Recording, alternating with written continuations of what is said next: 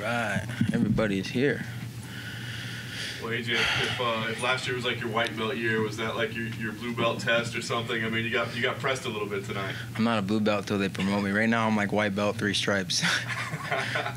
what did you think about your performance overall? I mean, uh, you know, kind of got pushed to the limit and maybe maybe got a chance to show some character there tonight. Yeah, I, you know, I got to give props to, to my opponent. He's a tough son of a gun, and he's really crafty, uh, much more deceiving than I anticipated. But he's a black, he's a dual black belt. Like I said, he's got a karate black belt and a jiu-jitsu black belt. Um, so he, you know, props to him. He he he brought me to the third round. I didn't expect that. Were there moments there where you got kind of mentally tested, where you had to dig deep and and you know try to turn things in your tie? I'd like to say I thought about it, but I didn't. Just kind of instincts kicked in there. And I got to ask about the finish. I think, I mean, it looked like there were multiple submission opportunities there. What, what exactly was it? I think they called it a triangle, but what what was the finish there? I've been waiting for this moment my whole life. That's called the Agazarm. That's the? That's my patented move. I learned that from, from my jiu-jitsu professor a long time ago and just kind of made it my own. You've seen that finish in Polaris like three or four times. I actually, uh, funny enough, just shared it on my Facebook three days ago. Did you really? yeah. So it was cool to get that, finally get that. He, it's, a, it's a bait move. So he, you go for the armbar and uh, you trick him into falling into the triangle, and he fell right for it. It's not really your traditional triangle. It's a it's a little bit of uh, a variation. So. But ultimately, I was stoked on that choke, one. Uh, like pressure on the arm, or. Yeah, no, he's he's choked. He's choked out. Yeah. Oh, what if I can relate? What about the thought uh, that uh, he possibly didn't tap? There's talk going around that he's maybe feeling like he didn't tap. Was there any controversy? Did you hear anything from him about that? Did he say that? There's some talk. We're not sure Some yet. people on Twitter are saying that he protested, but we can't find anywhere where he protested. I mean, I could have kept it longer. I, Right. It looked pretty clear. It, looked, it seemed pretty clear to you, though. You didn't feel it there was any. What did you think? It looked like he. Yeah. We're not saying you. We're, not, we're just we weren't in there, so we're, we're We just were just confirming. wondering if Yeah, if yeah. he said anything to you about. It, it was about as tight as tight can get without his head popping off. Right. Have you used that before in a uh, jiu-jitsu tournament?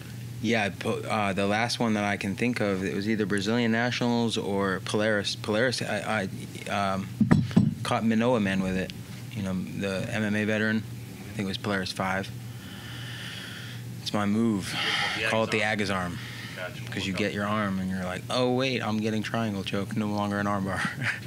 Let me ask you, AJ, the, the boxing and the striking, everyone's saying, I think uh, commentator was even saying, all he's got to do is just do what Richard Perez was showing him. But for, for a world class grappler to all of a sudden become a world class striker, it's not that easy. How did you feel out there, uh, the exchanges you were having back and forth? Were you getting frustrated? Looks like you were getting picked apart a little bit, but it looks like you were staying composed. What was your thought about what was going on in that first couple rounds? Yeah, I'm, I'm very fortunate to have that, that those three rounds because it's it's an opportunity to get some tape and, and go and, and reassess some some mistakes that were made and, and, and do better the next time. I think that you know he he's a, he's an impressive fighter. He uh, I, I, I, I turned it up on him though in the third round. It took me a couple couple minutes to get warmed up and.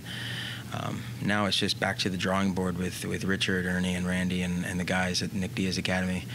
Um, and it's it's it's always good to have this kind of experience because you can you can draw on it. You know, training is one thing, but when you you're going against a guy and like like I said, he he's a tough guy, but this is the fight business, so you got to keep it serious all the way up until after the fight. And you're just like, hey man, thank you for the fight because it's serious business for me. I I can't fake that, and I, you can try, but you can't.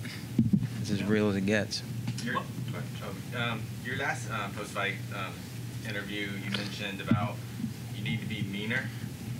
Yeah. Were you meaner tonight? Is this the? mean, Did it look more mean? It did. I mean, Yeah. did- you feel like? I mean, but your, your last your fight last time looked pretty mean too. I'm just saying, like. Yeah. But it, did you feel like this was the, I don't know, the the mean side that had to come out with these fights? You know, uh, I think I told Amy this before. I'm a perfectionist, and it's just it's never complete. So that's a that's going to be something that will just continue to progress as as fights go on. And I'm just looking forward to the next one. So I'm going to go back to to the academy, and you know, Nate and the guys are already giving me criticism to go forward. So it's uh, there's a lot that I got to go back and write down some stuff before I forget it, and and and build on for the next one because, you know, th- this is a great this is a great venue, the Forum. It's something special. It really is. It's it's the first we had the the mock weigh-ins and Bellator's changing the game, so I'm I'm lucky to be a part of it. I'm lucky to have all the guys here, um, and it's uh, it's looking good. Just gotta work on my striking. Do you have anyone in mind for the next one? Um, I gotta think about it. You know, is there anybody you have in mind? Well, Chris Lencioni says when AJ Agazarm wants to fight a real fighter, give me a call. Did he win his last one? he did. How? Uh, it was the first round triangle. So you're gonna put up his triangle versus my triangle? Maybe. The Agazarm versus the Lencioni triangle? I guess. I don't know. I, I, I like the I like the striker, the karate guy, because it challenges me.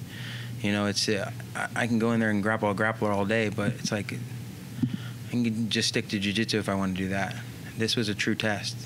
I got kicked in the head again, so I got to get through that and, and work my way around it and get some more head movement. And um, if I told you how many times Richard's yelled at me since my last fight and this fight, you'd you wouldn't believe me. So it's uh, a lot of work to be done. This is by you know certainly not the last. Um, it's not the finished product. This is just practice. Call it practice. Kind of a mixed night for, for your camp. Did Avila's loss? That was anything- crazy. I can't believe they gave that to him. He's running away the whole fight. I was like, yeah, that was nuts, man. But you know, Chris is a warrior. He's uh, it's not the last you'll see of him either. So I know he's going to be coming back even hungrier. Your, um, your, your team looked pretty upset after that decision was read and when they uh, walked past press row. Did that, that energy affect the, the locker room at all ahead of yours? Just try to stay focused. You know, we have just a, an elite uh, coaching staff that really conditions us and puts us in the right mindset. And, and you know, we saw that in my fight. You know, had a little tough beginning and worked through it and, and found the submission. And that's what it's all about: is overcoming adversity and doing what you do. So, I was pleased with uh, that aspect of the fight. Absolutely. AJ, you competed at heavier weights in submission. Can you tell us what weights you were competing at? Not only that, but you were competing with guys that weighed a lot more than you. So uh, 45, I think, is not where you were ever in a submission. Uh, Yeah, you know, and the the thing with that is that there there's there's no impact in, in jujitsu. There's no striking in competitive jujitsu, so it changes it a little bit. Um, but if you know, Rich Chou called me up and he's like, "Hey, dude, I want you to face Ryan Bader," I I wouldn't blink an eye. I would do it. Just because I'm used to it. But the the commission probably won't sanction that fight. You're I would like it though. You're definitely bigger and stronger than most featherweights, I would, I would think. yeah, yeah, just not not that tall. Right, right. God doesn't give wings to snakes.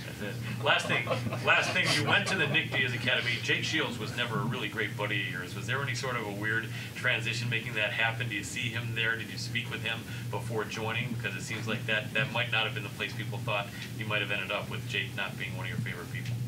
Jake's a great guy, OG fighter, wrestler, jiu-jitsu guy, and um, you know he, he he comes strong with the Nick Diaz army. So